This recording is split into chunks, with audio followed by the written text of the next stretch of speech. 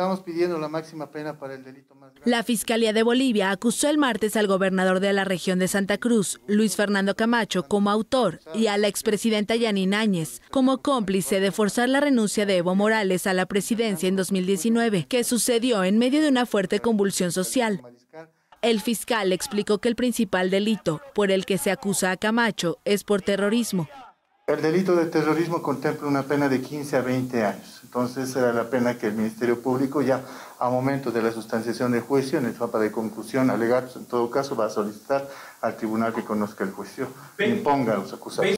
Camacho, empresario de 45 años y principal opositor, fue detenido el 28 de diciembre de 2022 tras la denuncia de promover un denominado golpe de Estado contra Morales, que fue presidente de Bolivia entre 2006 y 2019.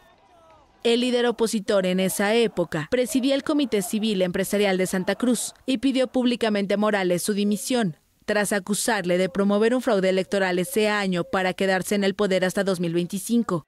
Camacho llegó a La Paz el 10 de noviembre de 2019, pero Morales ya había dimitido desde la región cocalera del Chapare para luego partir hacia México.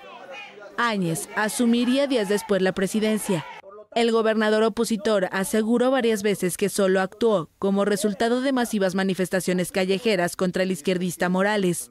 Sobre la expresidenta Áñez, el fiscal Mejillones informó que es acusada como cómplice. Ella cumple desde junio de 2022 otra sentencia de 10 años de cárcel por el delito de incumplimiento de deberes y resoluciones contrarias a la Constitución.